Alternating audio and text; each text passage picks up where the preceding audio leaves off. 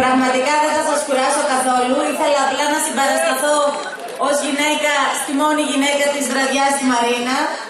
Χρόνια πολλά και καλά και του χρόνου με υγεία.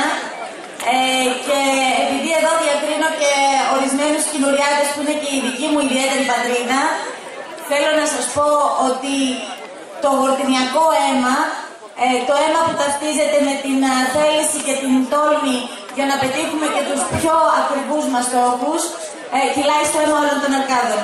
Χρόνια πολλά και καλά, με πολλή μουσική, όμορφη μουσική και του χρόνου με υγεία.